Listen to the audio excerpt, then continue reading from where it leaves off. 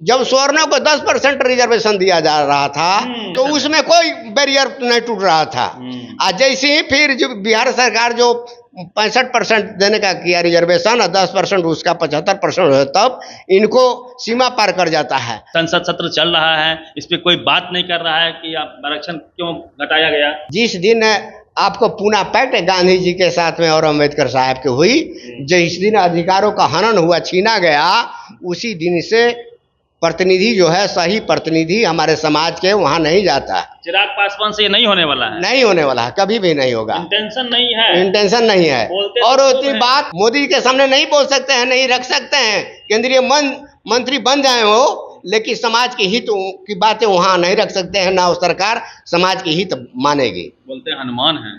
तो हनुमान के क्या पावर था? हनुमान जी सेवक थे। ये सेवक है अपने से बोल रहे हैं? दूसर कोई सर्टिफिकेट नहीं दे रहा है ये अपने सर्टिफिकेट ले रहे हैं कि हम मोदी के सेवक हैं। आँख में आँख मिला के चिराग पासवान मोदी से सवाल नहीं कर सकते नहीं कर सकते कभी नहीं। इतनी पावर नहीं है। नहीं है। देश की आज़ादी के बाद से हम्म। तीन सौ घरानों के अंदर में ही सुप्रीम कोर्ट हाई कोर्ट के जो जज हुआ करते थे वो भी अनवरत जारी है और जारी रखने का प्रोग्राम है। एकलौता देश है भारत की जज की नियुक्ति जज करती है। जज की नियुक्ति जज करता है। क्या लगता है कि जो कॉलेजियम सिस्टम है उसके वजह से कुछ खास जाति के लोग ही जज बनते हैं? क्या इसमें इससे आप लोगों का जो S C S T OBC के लोग एडवोकेट वगैरह हैं उनका शोषण वगैरह भी होता है? उनकी बात सुनी जाती है कि नहीं सुनी जाती है? क्या अंदर खाने की बात है? इस बार संसद में कई सांसदों ने जय भीम जय जय भारत के नारे लगाए।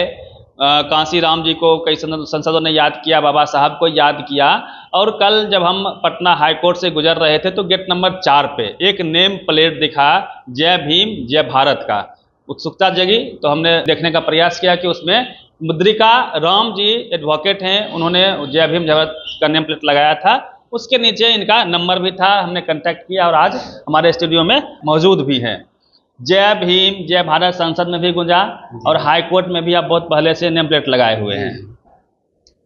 जय भीम जय भारत जो है ये नारा पूरे देश में बहुजन समाज को लगानी चाहिए और इस संख्या के अनुपात में बा, बाबा साहब ने संविधान की रचना की हम्म। और जनसंख्या के अनुपात में विधानसभाओं में विधानसभा में और और लोकसभा में सीट रिजर्वेशन की और एस सी के लिए नौकरियों में व्यवस्था की संविधान के माध्यम से ईमानदारी पूर्वक देश की आज़ादी के बाद से उसको शत प्रतिशत लागू नहीं किया गया है। बहुत से बैकलॉग बाकी रह रह गए हैं, रह गए थे।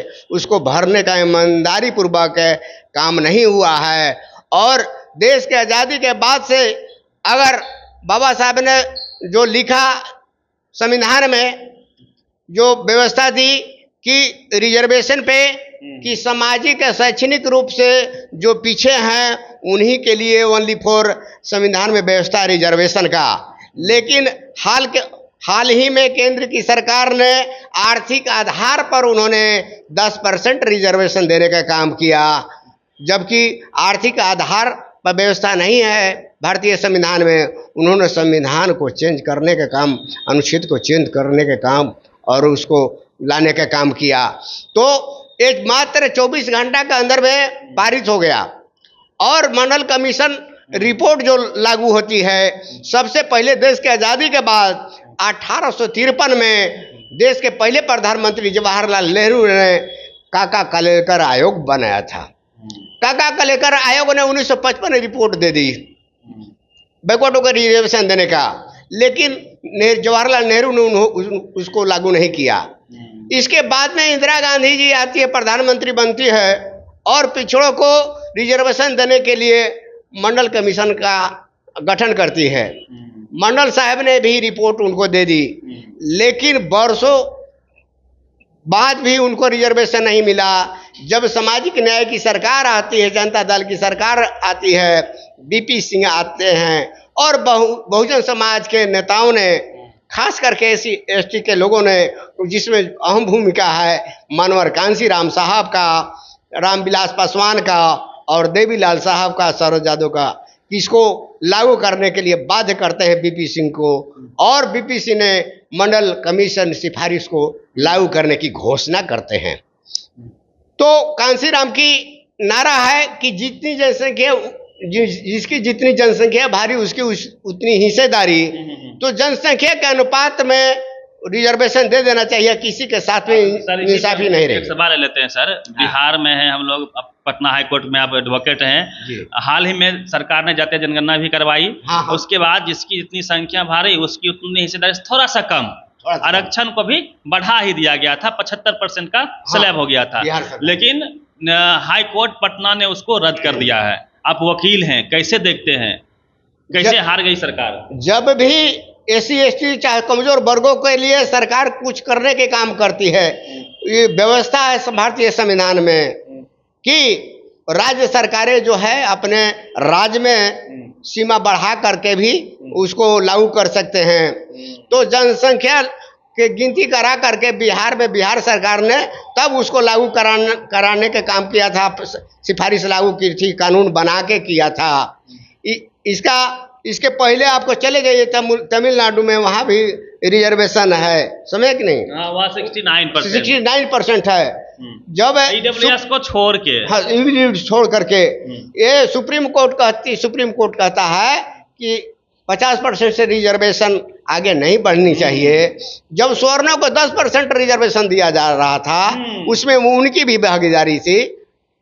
हाँ, मानने का तो उसमें कोई बैरियर नहीं टूट रहा था। हम्म। आज जैसे ही फिर जो बिहार सरकार जो पैंसठ परसेंट देने का किया रिजर्वेशन और दस परसेंट उसका पचहत्तर परसेंट हो तब इनको सीमा पार कर जाता है। तो दो दोहरी नीति नियम कानून आता है उस वक्त नियम कानून सब कानून नहीं था। तो जब भी बहुजन समाज के हित की बात ही है तो अड़ंगा लगता है सरकार की ओर से और न्यायपालिका के माध्यम से। तो न्यायपालिका के माध्यम से लगता है ऐसी नहीं होनी चाहिए। इसके लिए जनता जो है आंदोलन करेगी और इस जो रिजर्वेशन बिहार सरकार दिया था उसको शत प्रतिशत लागू कराने के काम करेगी। उसके लिए सुनिए सर उसके लिए तेजस्वी यादव जी लगातार चुनाव में कह रहे थे कि नौवीं अनुसूची में इस जो संशोधन हुआ आरक्षण को लेके उसको डाल दिया जाए। जैसे तमिलनाडु का आरक्षण जो है जयललिता ने डलवा दिया था इसलिए उसमें संशोधन नहीं हो पाया। तो क्या लगता है कि ये नौवीं अनुसूची में क्यों नहीं डाल पाए मोदी जी? चिराग पासवान उनके सहयोगी है। जदयू वाले क्यों नहीं शामिल करवा पाए? जदयू वाले नहीं शामिल करवाए चूँकि पाठ हैं और कराना चाहिए था लेकिन इनकी बात वहाँ नहीं होती। इनकी बात नहीं चलती है वहाँ। भले ही समर्थन सरकार के कर रहे हो लेकिन इनकी चलती नहीं है। किन की? चिराग पासवान। नहीं जदयू की। जदयू। जदयू की। जब से इनके दोस्ती हुई है गठबंधन हुआ है बीजेपी के साथ में जनता दल यूनाइटेड का भाजपा के बराबर मंत्री बिहार सरकार में रहते हैं। हम्म। ये पहला बार है कि इनके मंत्री बने हैं केंद्र सरकार में साझी सरकार में। हम्म। समझे ना ये पहली बार है। तो भाजपा के लोग तो इनके शासन में मंत्री लेते थे, थे लेकिन इनका यूनाइटेड का मंत्री नहीं बन पाता था केंद्र सरकार ये पहला बार है कि मंत्री बने हैं। आखिरी सब सवाल लेंगे। चिराग पासवान अक्सर कहते हैं कि आरक्षण के मुद्दे पे कोई समझौता नहीं करेंगे। आरक्षण खत्म नहीं हो सकता है।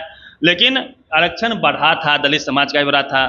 अठारह से बीस हो गया था एसटी का एक से दो हो गया था अठारह से पच्चीस ओबीसी का हो गया था हाँ। और बारह से अठारह एमबीसी का हो गया था। हाँ। तो क्या लगता है आपको कि ये लोग चुप क्यों हैं?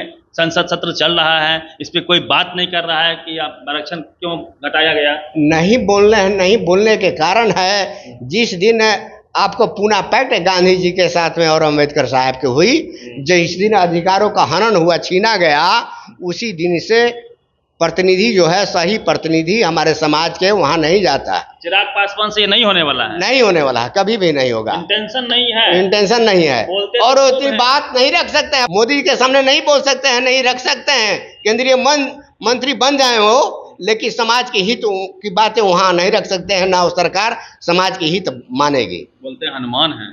तो हनुमान के क्या पावर था? हनुमान जी सेवक थे। ये सेवक है अपने से बोल रहे हैं? दूसरा कोई सर्टिफिकेट नहीं दे रहा है ये अपने सर्टिफिकेट ले रहे हैं कि हम मोदी के सेवक हैं। तो सेवक का आदमी का क्या पावर होता है बाबू? आँख में आँख मिला के चिराग पासवान मोदी से सवाल नहीं कर सकते नहीं कर सकते कभी नहीं। इतनी पावर नहीं है। नहीं है। भले समाज के अंदर सांसद उनके जीत के गए हैं हंड्रेड परसेंट स्ट्राइक रेट है उनका सो। वो वो रहने के लिए कुछ भी हो जाए लेकिन समाज के हित की बातें और कल्याण की बातें सरकार के पास मोदी जी के पास ये नहीं रख सकते। उनको चिराग जी का जो है अपने पारिवारिक बातें अपने दल के फ़ायदा ले सकते हैं लेकिन इनके हो जाने से समाज के हित और फ़ायदा नहीं है। सुप्रीम कोर्ट में ये केस टिकेगा। कई लोग कहते हैं केस नहीं टिक पाएगा। तो जो खास करके जो सवर्ण वकील हैं हाँ, वो। बढ़ चढ़ के रोज टीवी अखबार में बोल रहे हैं कि केस नहीं टिकेगा। बहुत खुश है अंदर से। बहुत जानते हैं कि सब सभी लोग जो है देखिए अब बाबू दुनिया जब से देश आज़ाद हुआ है वंशवाद जो है वहाँ भी न्यायपालिका में ही भी है। हाई कोर्ट और सुप्रीम कोर्ट में जज जो बहाली होते हैं वहाँ कोई इंटरव्यू नहीं है कोई लिखित एग्ज़ाम नहीं है कोई साक्षात्कार नहीं है जिनके दादा सुप्रीम कोर्ट में हाई कोर्ट में थे उनके पोते बनते हैं। जिनके नाना थे जी जज के जिनके नाना थे हाई कोर्ट सुप्रीम कोर्ट में जज। उनके नाती बनते हैं। जज का बेटा जज बन रहा है। जज के बेटा ही जज बनता है। एकलौता देश है भारत कि जज की नियुक्ति जज करती है। जज की नियुक्ति जज करता है। कॉलेजियम सिस्टम कॉलेजियम सिस्टम है। ऐसा दुनिया में कहीं भी सिस्टम नहीं है। कॉलेजियम जैसे सिस्टम से क्या इन फैसलों पर भी असर पड़ा होगा? 300 घरानों में जो देश की आज़ादी के बाद से 300 घरानों के अंदर में ही सुप्रीम कोर्ट हाई कोर्ट के जो जज हुआ करते थे वो भी अनवरत जारी है और जारी रखने का प्रोग्राम है जो सरकार जब तक देश के आज़ादी होने के बाद आई है वो भी नहीं चाहती दीर से कि मतलब कि संघ लोक सेवा आयोग के माध्यम से जैसे आईपीएस आईएएस आईपीएस की होता है जो होता है उस तरह से हम बहाल करें। ऐसी व्यवस्था इसका भी व्यवस्था है संविधान में। लेकिन पड़ता उनके फैसलों पे। हाँ इसका भी व्यवस्था है संघ लोक सेवा आयोग के माध्यम से हाई कोर्ट में और सुप्रीम कोर्ट में जल्द बहाली का। इसको आयोग बनानी चाहिए केंद्र सरकार को लेकिन बनाती नहीं है चूँकि उनको फ़ायदा है। तो आयोग बना करके अपने घाटा क्यों करें? अपने पैर पर कुल्हाड़ी क्यों मारे वो लास्ट सवाल लेते हैं। आप वकील हैं हाईकोर्ट पटना के। और क्या लगता है कि जो कॉलेजियम सिस्टम है उसके वजह से कुछ खास जाति के लोग ही जज बनते हैं? क्या इसमें इससे आप लोगों का जो S C S T OBC के लोग एडवोकेट वगैरह हैं उनका शोषण वगैरह भी होता है? उनकी बात सुनी जाती है कि नहीं सुनी जाती है? क्या अंदर खाने की बात है? अंदर खाने की बात है जो उनकी समाज के हित में जो बात रहती है उसी तरह के ज़्यादा डिसीज़न जज लोग दिया करते हैं।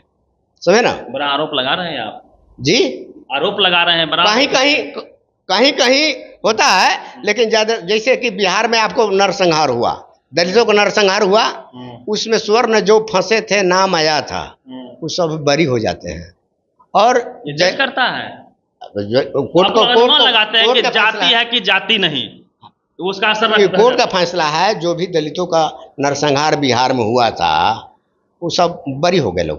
हम्म, और जो भी स्वर की नरसंहार जो बिहार में हुई थी हम्म, उसमें पनिशमेंट हुआ है लोगों को हम्म। बहुजन समाज के लोगों को।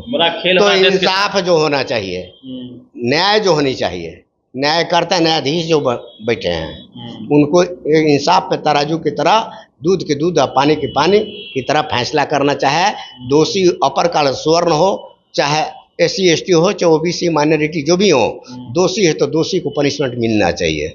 बताइए ये कहानी है भारत में आज़ाद भारत में कि न्याय लोगों को नहीं मिल पाती है। कोलेजियम सिस्टम की वजह से सरकारों पर कि जात दे के न्याय होता है। हालाँकि राष्ट्रपति जब तक संघ लोक सेवा आयोग नहीं बनेगा हम्म, जब तक दलित पिछड़ों आदिवासियों अल्पसंख्यकों को समुचित भागीदारी हाईकोर्ट सुप्रीम कोर्ट में हम्म। नहीं आएगी तब तक समाज के साथ न्याय नहीं हो पाएगा। नहीं हो पाएगा। तो वकील साहब थे हमने पूरी बातचीत करने का प्रयास किया है। आप राष्ट्रपति जी का वो भाषण भी याद कर सकते हैं जब वो कहती हैं कि वो जब जेल मंत्री थी तो S C S T O B C के 90 परसेंट लोगों को न्याय नहीं मिलता, वो जेल में सर रहे होते हैं। खीरा चोरी के आरोप में वो जेल में बंद हैं, वहीं हीरा चोरी के आरोप में वो कई लोग विदेशों में घूम रहे हैं, जो अपर कास्ट के हैं।